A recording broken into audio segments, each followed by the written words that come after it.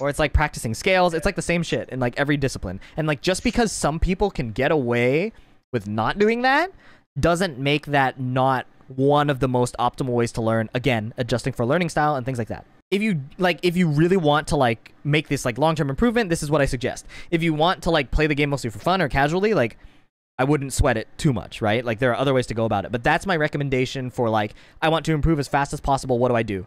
Like you have to be willing to just straight up tank 50 games to learn one concept. Okay, so I think I have a good game plan. So what we saw in this across all three is there is an option you have in mind in advance that is taking over autonomously, right? what we can do is between matches or watching like like do you watch a lot of Oscar players? I used to.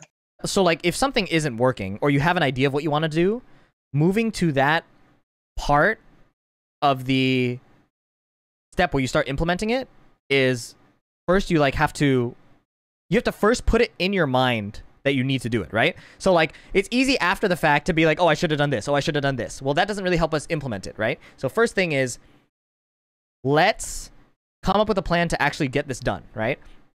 So, for example, I'm can canning everything and it's not working, or I want to stop can canning as much. So, Sync proposed that one option is where you can can can, tell yourself you're going to do down back one.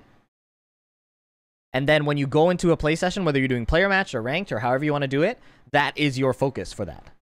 Because if you want to focus on winning and this and punishing and that, it's going to be too much. It's really hard. Yeah. So pick a set of games where you're just going to do that. Sync was referring to this matchup, I think, with Steve specifically, where you're getting jab floated and down back one would have worked. So what you can do is go into a next session and plan that. Where I want to can can, I'm going to tell my hands to do down back one. If I lose, it doesn't matter. If I do this, it doesn't matter. And whether that means you play in like casuals or like not ranked, that's fine. It doesn't really matter where you do it. So that will be like making the plan. And then like assessing uh, like when did it work, when did it not work, and this is how the delinking of man that felt good to hit versus this is good to do and will win me more games is how it's done. Um, and then the next thing is like how do we come up with what is good to do? That's where the watching thing comes from. So watching, uh, I would watch like Commander, B Bias, uh, Dimeback, these are just off the top of my head. I don't actually know like many good Oscar players. I just like these are the names I can think of off the top of my head. If I were learning Oscar, I would watch them, see what they're doing, and then see what situations would like you can put yourself in that match. Like stare at the opponent and be like, what move would I have done here? What move did they pick? Um, maybe I can try doing what they're doing. Does it work? Does it not work? And then that's how you come up with the plan. Like, where am I going to change in the first place? Oh yeah, Fergus. How did I miss Fergus? Jesus, I'm trolling. But that makes sense, right? So, so um, phase one we already kind of did. It was like Sync told us down back one is good. So phase two would be okay. Where do I want to use down back one? Everywhere I do down back or everywhere I do can cans.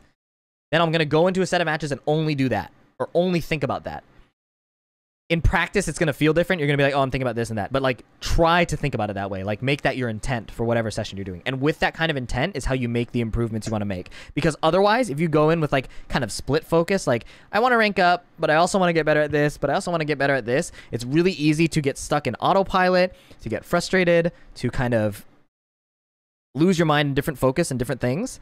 I was playing law. Let me pull up on the screen. I was playing Law, and I was so focused on ranking up that I just kept doing the same stupid shit that got me killed over and over. What was I doing? I was, um... Because I play Noctis, so approaching is no issue. Um... I play I play Noctis, so approaching is no issue. But Law can't get in as quickly and easily as Noctis can with just 2-2. So I was freaking stuck at, like, Mighty Ruler, even though my Noctis is whatever. Like, True Tekken God, former TGP. No, uh, humble brag. But, like my law just couldn't get in and I was getting blown up. I was getting kept out, stuff like that. So if I kept playing the way I was playing just to rank up, I might eventually figure stuff out, but I wasn't solving the fundamental issue, which I, I didn't know how to get in. So I talked to, I watched other laws. I talked to like Reno Face at the time because he happened to be watching, and he was like, "Oh, back two. But what I did is I stopped trying to slide, stop trying to win, and I was just like, I'm gonna find places where back two is gonna hit and get me in there, and then I can start playing my range zero game. And that was my improvement for the day. And I demoted like three times. But now, like once it normalized out, like later in the later in the week, I came up to Eternal Ruler. So your rank the decisions you make to get better aren't going to immediately translate to rank. I'm sure you know that, like from playing League and other games.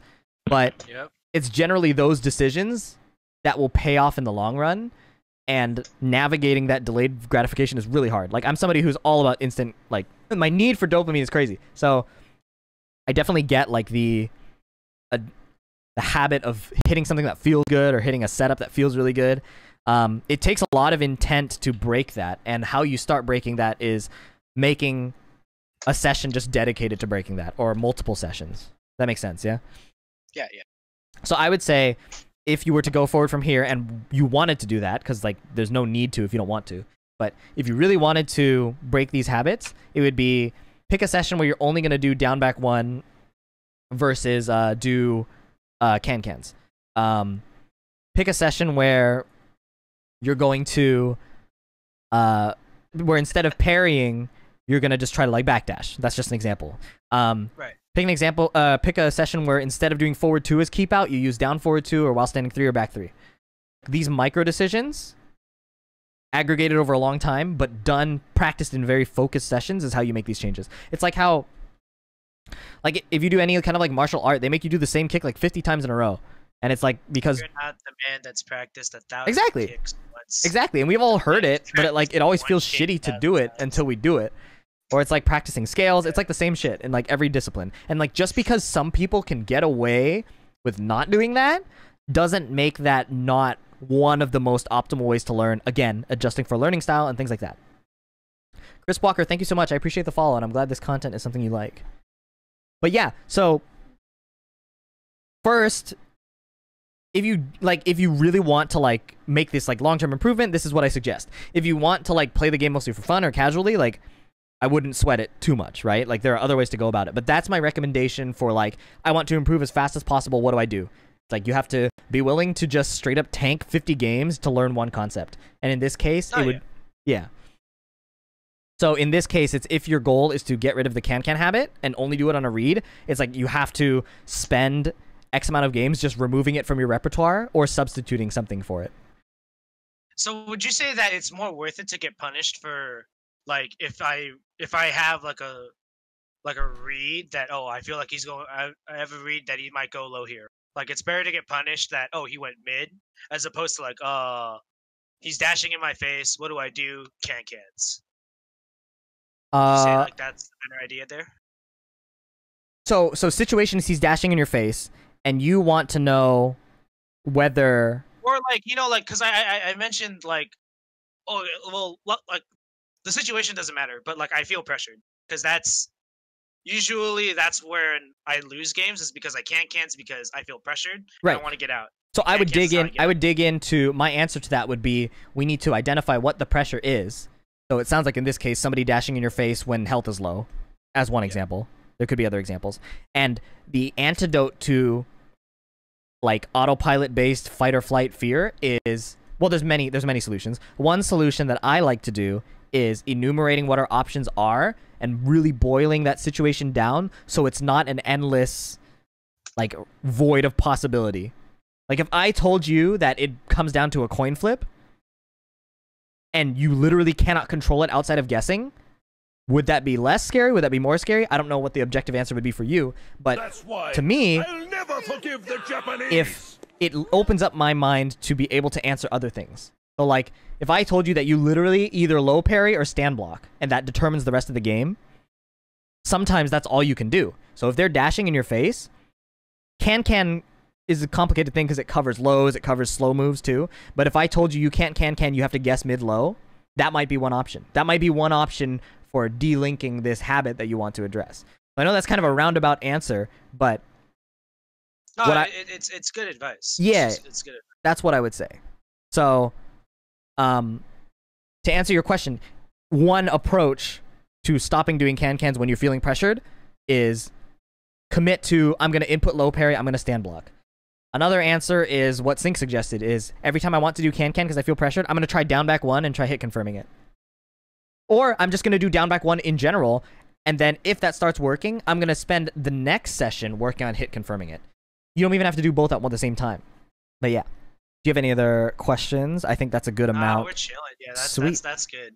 yeah, I hope I'm that helps. I'm already starting to work on some stuff. Perfect. I hope that helps. And uh, as always in the Discord, just like pop in with questions if you ever have something. And like, uh, yeah, I hope that helps. And Oh yeah. I'll probably That throw this on YouTube as well. Yeah.